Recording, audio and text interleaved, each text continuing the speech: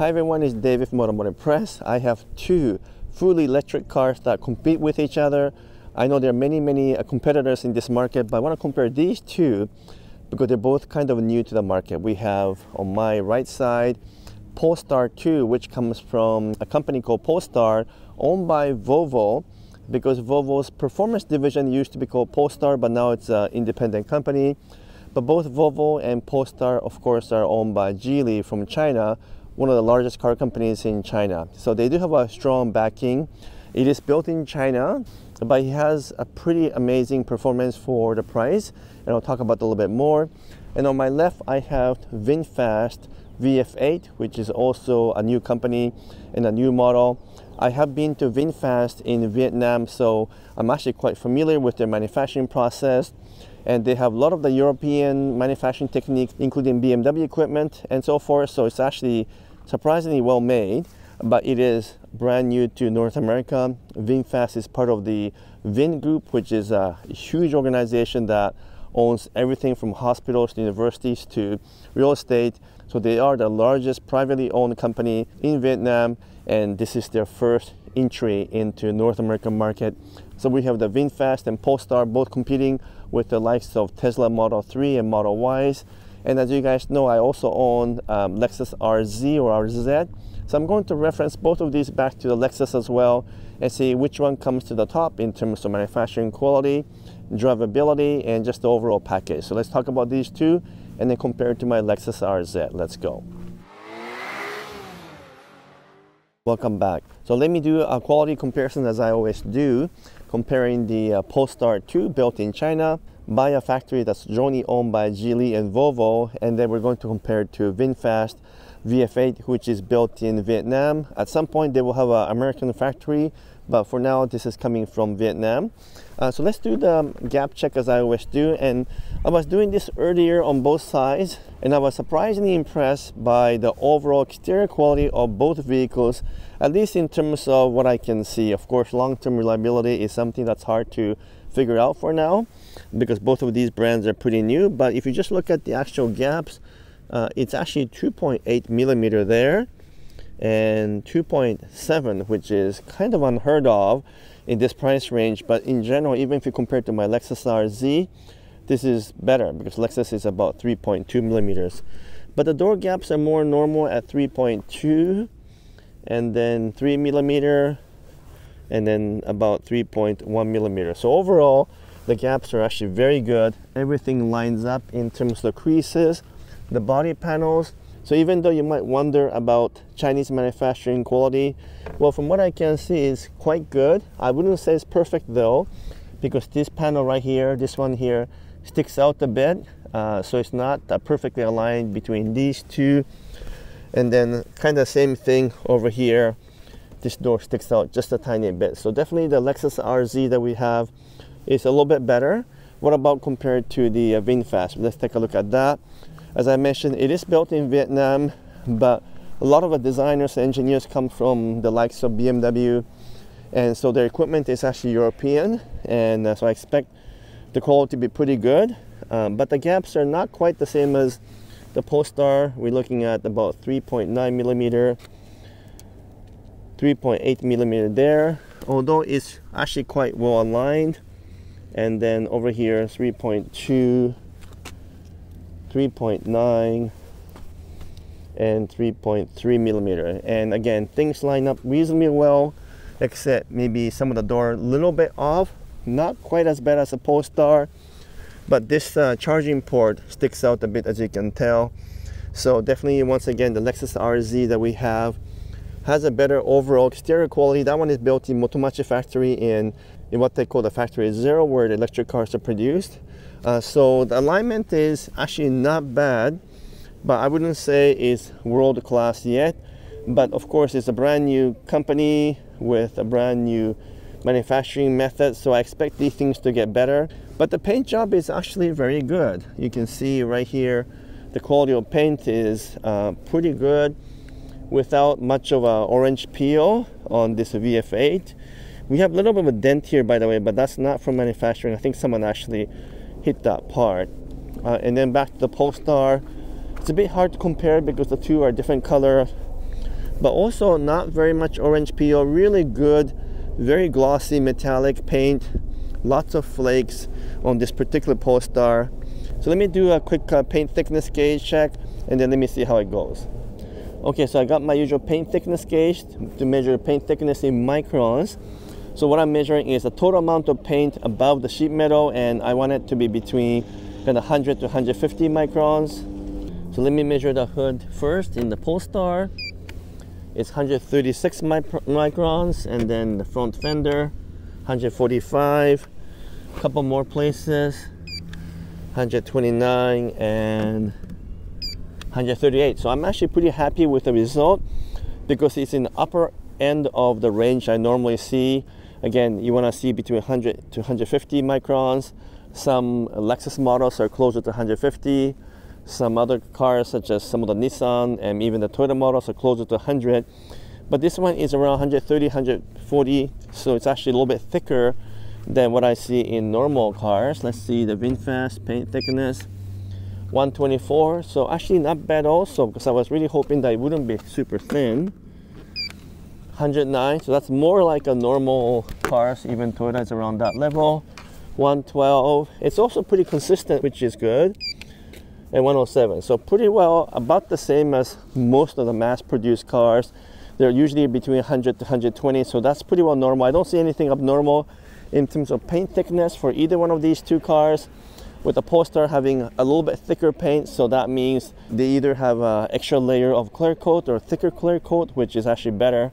But even for VinFast, this is a pretty normal range. So right now, in terms of exterior quality, it's not perfect, but better than expected. And in some cases such as the Polestar's gaps along here is surprisingly good. And uh, overall yeah even things like the plastic materials matches well in the VinFast and same thing in the Polestar. So if you think that just because they're brand new models from China and also Vietnam that they won't be uh, well made actually that isn't the case so far. Let's take a look inside and see how good the quality is. By the way one kind of strange thing I noticed about the VF8 is the remote lock and unlock which you have to use this button which is okay that's to unlock. And of course you press this again to lock with the key in your pocket. However it's not offered on the other side which is very unusual. I've never seen that in any other brand.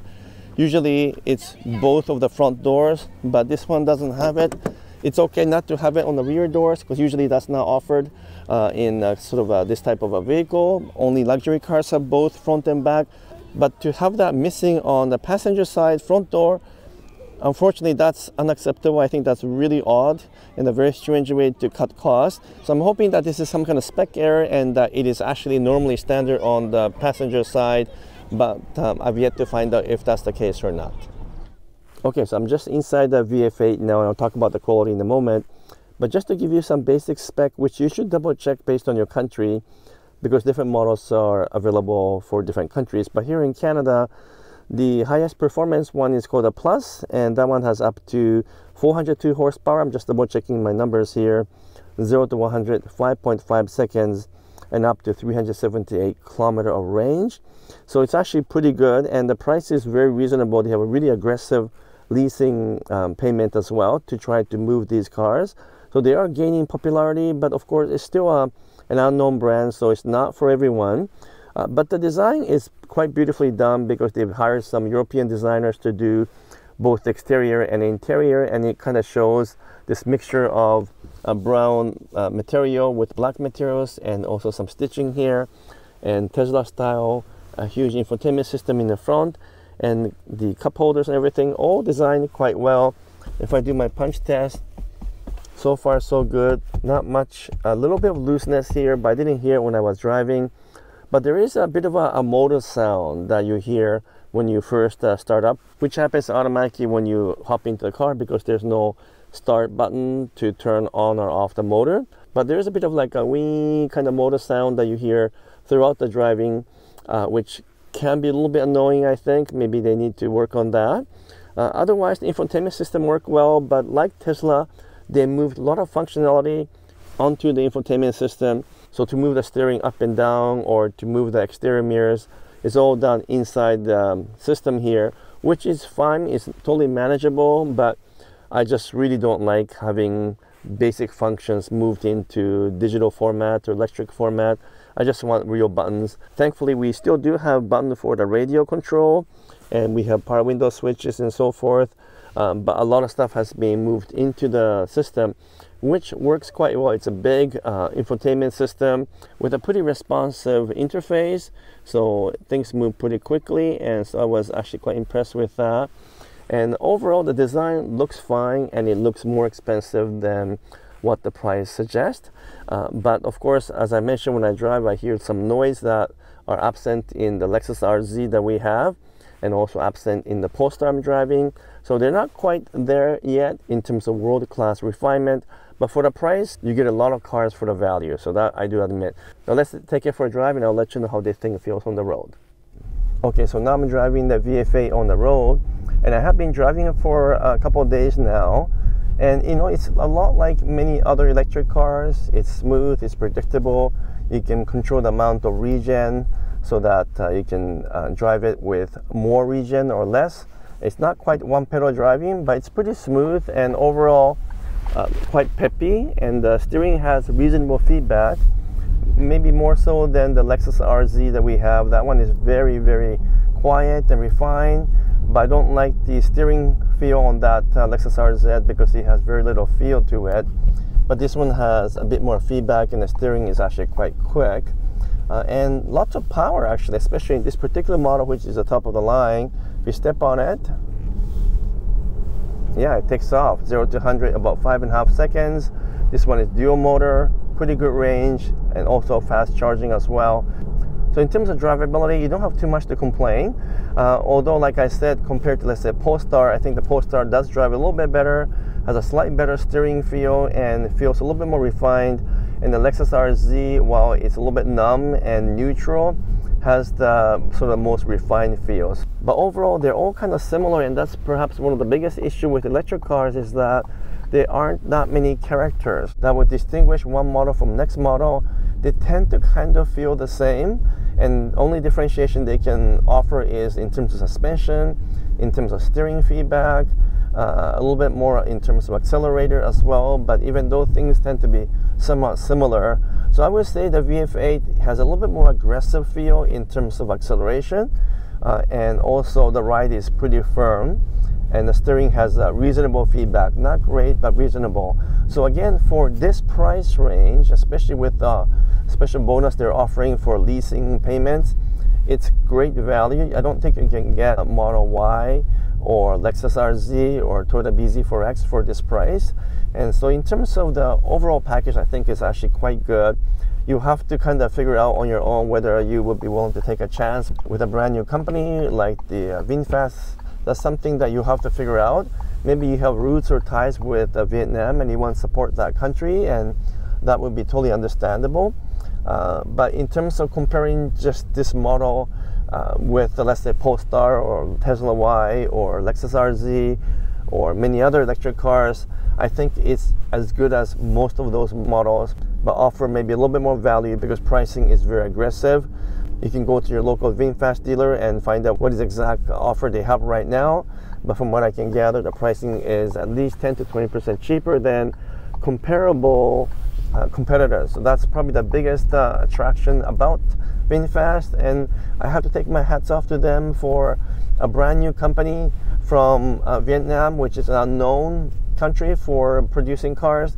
They've done a remarkable job to get this point, and it's quite a fascinating journey. So definitely something that's worth looking at. Now let's hop into Polestar and let's see what the differences might be. Okay, so now I'm in the Polestar 2, and I'm going to give you some spec here before we go too far.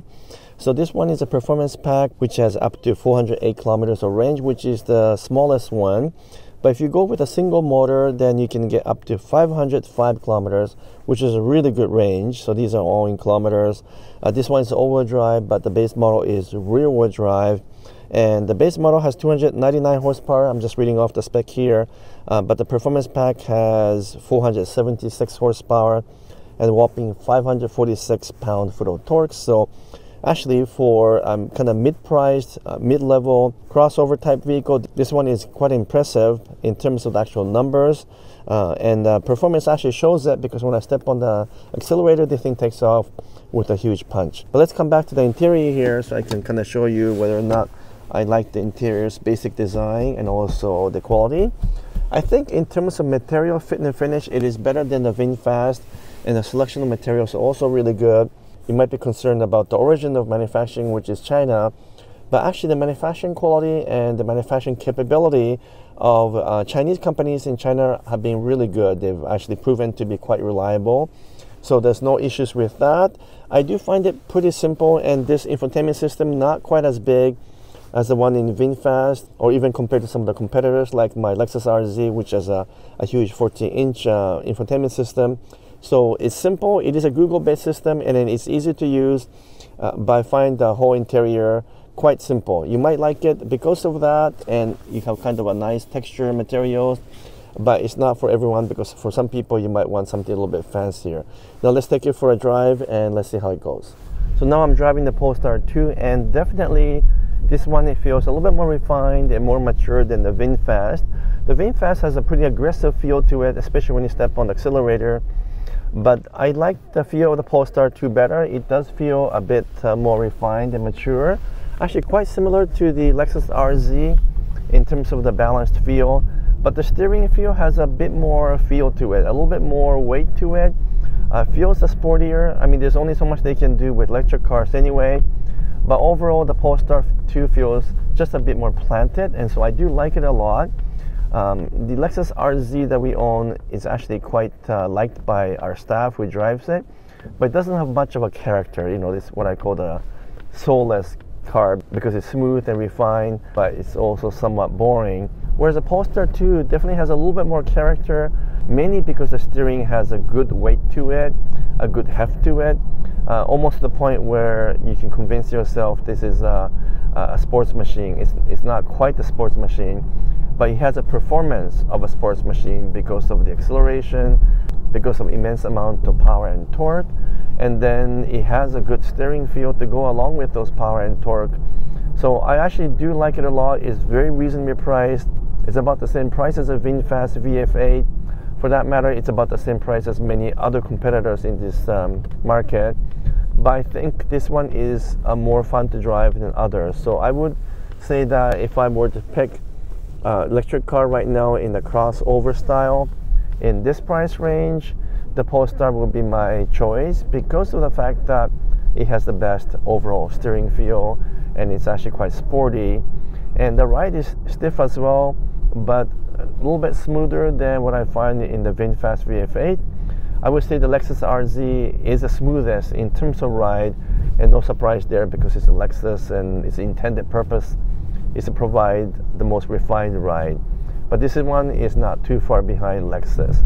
So what can I say? People don't know Polestars. Polestar is also a new company, and some people might have some reservation since it's built in China, it's owned by a Chinese company, and that may not be to your liking. But if you're just looking at this car objectively and looking at the pricing, the value, the performance, the feel of it, I think it's one of the best ones out there for this price range. And so far, based on what I've seen outside and inside, I have no concern about the manufacturing quality. We just don't know the long-term reliability yet. But so far, cars coming out of China has been quite reliable so I have a good confidence that the Polestar 2 will remain reliable over longer term, but we'll have to wait and find out. So hopefully you enjoy my videos comparing the Polestar 2 to VinFast VF8. Both are new entries to this market. Both are somewhat unknown to general public and they both are trying to do something similar but with their own personality and with their own character. Having said that, there's only so much you can do in terms of changing the characteristic of electric cars because they tend to all feel the same. Uh, but right now, given a choice in this price range, if I want to buy something reasonably fun to drive, this will be my first choice. If I want the smoothest, most refined feel, um, but with some sacrifice in range and charging capability, it'll be the Lexus RZ. And if I want the best value, it'll be the VinFast VF8 because they're offering some aggressive pricing. Anyhow, there are many other choices as well. Let me know in the comments below what you think. And if you got some questions, also let me know. Please give me a thumbs up when you have a moment. And if you haven't done so yet, would you kindly subscribe as well? Until next video, I'm signing off for now. Thank you so much.